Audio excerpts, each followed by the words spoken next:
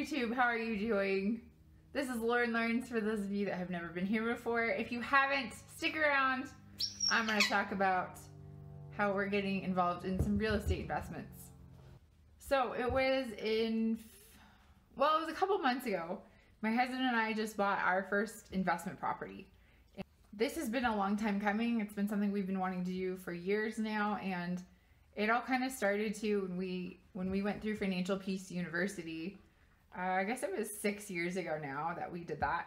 I was pregnant with our first guy, our first little guy, and um, and for those of you that are familiar with that, there's baby steps throughout that program to get yourself out of debt, to get you and your family fin- financially um, secure and invested so that you can give out to and pour out to other people and be generous. And that's what my husband and I love the most is um, that it doesn't just end with getting rich for our own family, but it's like we want to be wealthy and do well for ourselves because that's when you can give to other people and be generous. For our first investment property, we just got a single family home.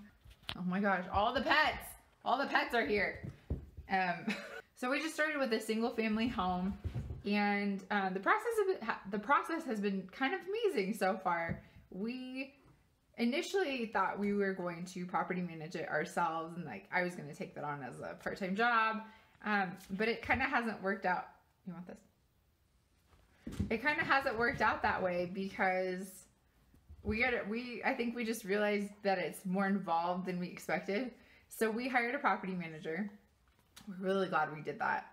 And I actually, I'm going to do a part two video on that next week like reasons you might want to get a property property manager or reasons you might not want to. But if uh, investment properties are something you have thought about doing in the past, then like I just want to give our experience and insight into that. Maybe it can get the ball rolling for you. But so there's so much information, just like anything else out there. The second you Google it, you have all these conflicting resources, and you're like, which one should I listen to? Uh, but we have found quite a few um, like YouTubers and bloggers that we both really see eye to eye with and but we started with it this this spring. We got our first house and we just got a tenant in there last week. We're so excited. And what was awesome about the property management team is that they they went ahead and did all the screening. Um, they found the right the right family for the home and um, found people with good credit and that's like that's so super important. So so some tips if you're looking into getting started with some, something like this we've learned a lot just by kind of reading and experiencing and i'm sure as we get further into it because it's not going to be our first our, our, only property we'd like to do more in the future um that we're just kind of gonna kind of gonna learn as we go. Okay so all that being said i want to give you five tips for for you getting started on this so tip number one would be do your research. Like I said, there's so many different schools of thought on this and find someone that's successful, um, that knows what they're talking about, but not in a get rich quick way. The, the bloggers and YouTubers that we really found we like are all about the slow process. Cause I don't really think you can get rich quick. Like it's just building wealth takes time, just like anything else good in life. Tip number two, she, I have to throw the ball again. Where'd it go? uh, tip number two would be to buy what you can afford. Essentially, when you, whenever you go to the bank to get pre-approved for a home, they're gonna pre-approve you for way more than you need to be spending. And so, like, we had a number set in mind when we went to go get approval from the bank or from the lender. Um, but we did not I don't even think get close to what they were wanting to give us because we knew what, what we were capable of spending monthly should we have a vacancy in the home. Tip number three is find a real estate agent that you can trust and that you know knows investment properties. Uh, going into this, like we knew quite a few realtors that we knew would be great at helping us, um, but we ended up going with a woman that was, she's actually one of our neighbors. She's amazing, but she, she's one of our neighbors and she she's talked she was just telling me that she knows investment properties. She's done out of state investment deals for investors like that are coming in from out of out of the area. So she just she showed me that she was capable. And man when i was watching her close the deal for us i was just like we picked the right one because she she was good at what she did. She knew how to negotiate and she was in it for us which is what we essentially needed uh, tip number four was finding a property that was not too far away. So we did go with a property that was about 25 minutes from us and that might be on the the far side of what does she want? Oh that might be on the far side for us i think of what we're we'll want to do next time.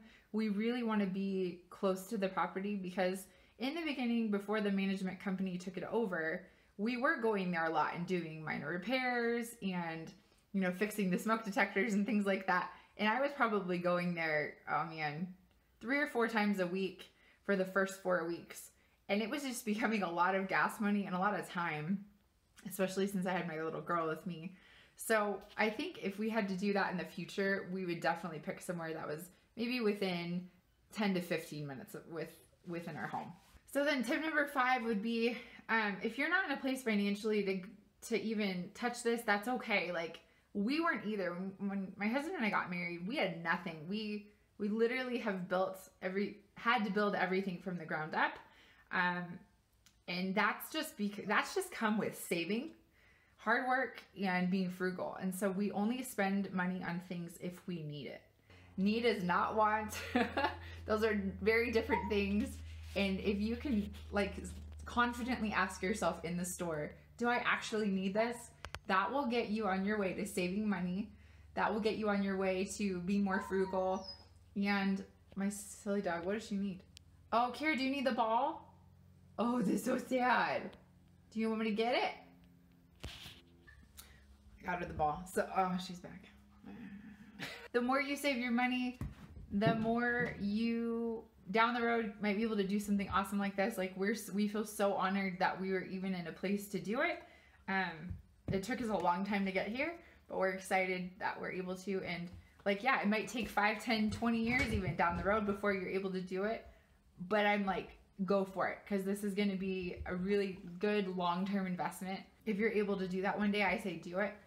Renting is fine, but it doesn't get you anywhere if you're wanting to build equity and um, long-term capital. So we are just so excited. Like like I said, stick to part two. Um, I'm going to be doing part two next week about how to pick a property manager or whether or not you should be even picking one. Yeah, so I'm so excited to be here again.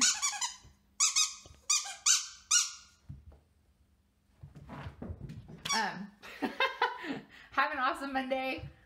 Love you all. And if you didn't already, go ahead subscribe down there. I think it's down there. I don't remember. Anyway, go get messy, have fun, learn, and I will see you again soon.